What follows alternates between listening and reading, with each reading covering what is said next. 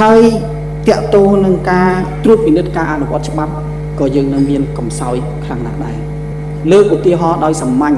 លិខិតអន្តរាគមរបស់អ្នកតំណាងរាស្ត្រដែលមានចុះហត្ថលេខាសម្ដេចប្រធានដែលជាស្ថាប័នកម្ពុជារបស់ជាតិធ្វើអន្តរាគមទៅថ្នាក់មូលដ្ឋានអត់មានប្រសិទ្ធភាពតទៅសោះតាក់ទងនឹងការរំលោភសិទ្ធិកាន់កាប់ដីធ្លីរបស់ប្រជាពលរដ្ឋការរំលោភបំពានការប្រើប្រាស់ហិង្សាអំពើឃោឃៅ ផ្សេងផ្សេងគឺថាពិបាកអាជ្ញាធរមូលដ្ឋាន គឺមិនបានយកលិខិតនោះទៅអនុវត្តទេឬក៏ចាត់វិធានការស្រាវជ្រាវឲ្យបាន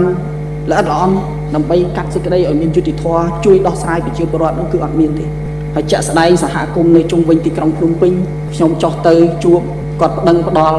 ហើយពេលខ្លះទៀតខ្ញុំឆ្ងល់ដែរពីព្រោះទៅដល់សួរគាត់ថាមានអន្តរាគមអ្នកណាជួយខ្លះគាត់ហុចមកមាន តាំងពីតំណាងរាជថាតំណាងរាជគណៈបកសំរងស៊ីទៅចោះគាត់ថាវាមិនមានអំណាចអ្វីទៅកែប្រែទៅស្នើសុំឲ្យជួយដោះស្រាយនេះប៉ុន្តែមានទាំងតំណាងរាជរបស់គណៈបកកណ្ដាលអំណាចទៀតគណៈបកប្រជាជនដែលជួយធ្វើអន្តរាគមក៏នៅតែអត់មានប្រសិទ្ធភាពអញ្ចឹងឃើញថាសភានៅមានអំណាចរបស់សភានៅមានកម្រិតដែលខ្ញុំពិនិត្យឃើញប្រព័ន្ធតលយភាពត្រួតពិនិត្យអំណាចរវាងរដ្ឋាភិបាលនិងរដ្ឋសភា គឺថានៅមានកម្រិតណាស់ខុសប្លែកពីប្រទេសដែលប្រកាន់លទ្ធិប្រជាធិបតេយ្យដទៃទៀតនៅលើសកលលោកគឺសភាមានអំណាចទេសំខាន់ណាស់គឺខ្លាំងណាស់តែកាលណាសភា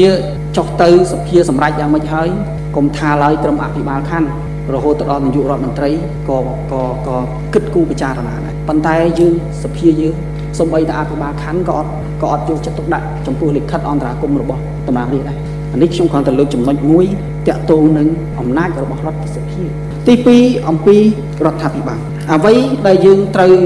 ចាប់អារម្មណ៍នៅពេលនេះហើយដែលជាឧបសគ្គធំបំផុតនៅក្នុងការអភិវឌ្ឍប្រទេសរបស់យើងនៅក្នុងការលុបបំបាត់ធៀបក្រីក្រអភិវឌ្ឍសេដ្ឋកិច្ចគឺបញ្ហាការិយាល័យធិបតេយ្យនៅអំពើពុករលួយដែលនេះរដ្ឋាភិបាលបានអនុម័តច្បាប់ពេលថ្មីថ្មីនេះក៏ប៉ុន្តែច្បាប់នេះក៏នៅមានការតិទៀនខ្លាំងអំពី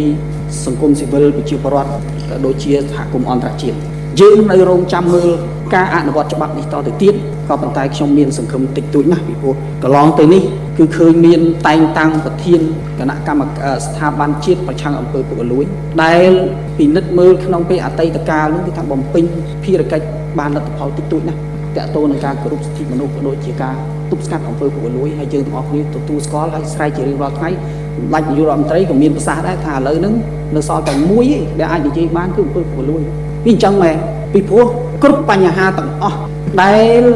ប៉ះពាល់ទៅដល់ប្រជាពលរដ្ឋសប្តាហ៍ថ្ងៃនេះប៉ះពាល់ទៅដល់សេដ្ឋកិច្ចប៉ះពាល់ទៅដល់មុខមុខមុខមាត់ប្រទេសយើងប៉ះពាល់ទៅដល់អាដីនៃបូរណភាពទឹកដីយើងជនអន្តរប្រវេសខុសច្បាប់អីទាំងអស់ហ្នឹងសិតតែមកពីអំពើពុករលួយទាំងអស់ចឹងហើយបានជាយើងក្នុងការអនុវត្តច្បាប់នេះក៏សូមជូនអនុសាសន៍ឲ្យប្រយ័ត្នប្រយែងធ្វើម៉េចជួយការពារជនដែលផ្ដល់ព័ត៌មានពីពួកគេបារម្ភខ្លាំងមែនទែនអំពីអ្នកដែលផ្ដល់ព័ត៌មាន ក្នុងការកម្ចាត់អំពើពុករលួយនៅក្នុងច្បាប់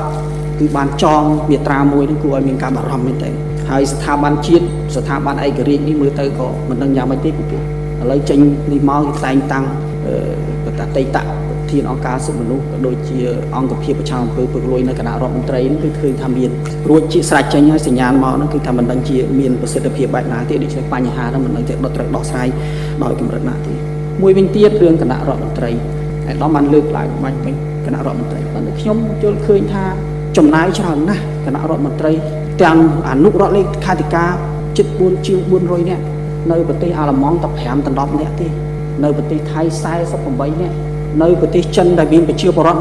1300លាននាក់ដូចជាមានតែមិនដល់30នាក់ទេគណៈរដ្ឋមន្ត្រីចិនប៉ុន្តែដល់ប្រទេសខ្មែរយើង400នាក់ចាយលុយច្រើនមានរដ្ឋលេខាធិការអនុរដ្ឋលេខាធិការខ្លះអត់មានការងារធ្វើហើយ ប្រជាពលរដ្ឋកំពុងក្រវិបត្តិសេដ្ឋកិច្ចដោះស្រាយមិនចេញយើងអត់ត្រូវមកដំឡើងចំនួនគណៈរដ្ឋមន្ត្រីហើយមិនដឹងជាដំឡើងប្រមាណទៀតអាណត្តិ2013មិនដឹងទៅត្រូវធ្វើយ៉ាងម៉េចហើយប្រជាពលរដ្ឋយើងកំពុងតែត្រូវការមជ្ឈបាយធនធានរបស់យើងមានកំណត់យើងក្រណាស់ទីយើងអញ្ចឹងបានថាបើអាចកំណត់បានមិន ថាឥឡូវគួរតែជជែកគ្នាទៅថាមិនកើតទេធ្វើវិសោធនកម្មច្បាប់ទៅកំណត់ថាឥឡូវគណៈរដ្ឋមន្ត្រីដូចនៅថៃគេដាក់យ៉ាងច្រើនបំផុត48នាក់អញ្ចឹងបើសិនតែយើងអាចនឹងមានគំនិតព្រួយផ្ដើមទាំងអស់គ្នាថាឥឡូវកំណត់ថាយ៉ាងច្រើនបំផុតប្រហែលទៅកុំឲ្យបើកទលំទលាយពេកនាំឲ្យប៉ះពាល់ទៅដល់ថវិកាជាតិប៉ះពាល់ទៅដល់ជីវភាពប្រជាពលរដ្ឋសិតតែសិតតែលុយបងពុនសិតតែលុយខ្ចីគេទេហើយអ្នកនៅចំនួនក្រោយនោះគឺថាត្រូវទទួលបន្ទុករ៉ាក់រងសងគេសង